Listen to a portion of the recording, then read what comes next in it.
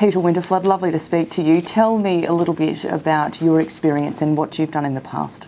Yeah, sure, Stacey. I've been in banking for almost 33 years. So, spent my time with major banks, um, predominantly here in Australia, but a little bit overseas. Finished up as uh, state manager of a, a, major regional bank at the end of 2011. Decided I'd do something a bit different, and rather than um, uh, continue on in banking, I thought I'd move over to the other side and uh, help people deal with their banks, so provide independent advice, leverage off, I guess, those years of experience and the contacts I had, contacts I had, uh, and you know, provide independent advice, and importantly, sort of giving people an insight into what's really going on.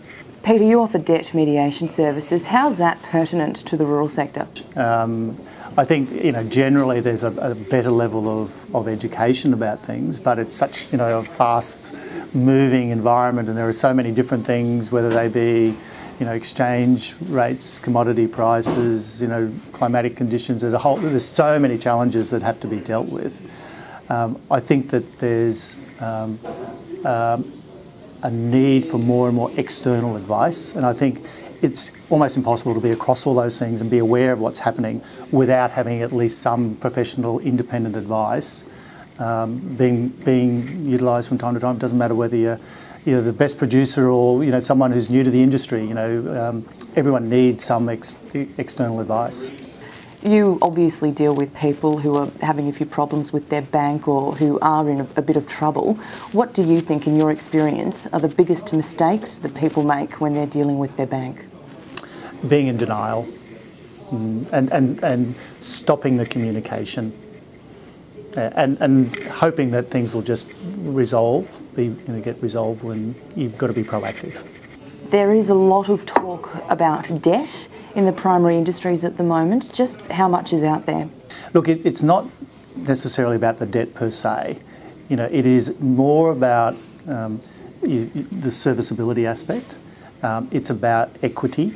Um, and what has happened traditionally is that banks have probably unwittingly, um, uh, you know, encouraged people or allowed people to take on more debt because when there have been tough times, um, rather than taking more, I guess, um, drastic action, if you like, banks have tended to increase their facilities because they've had a buffer between the asset values and where the debt lies.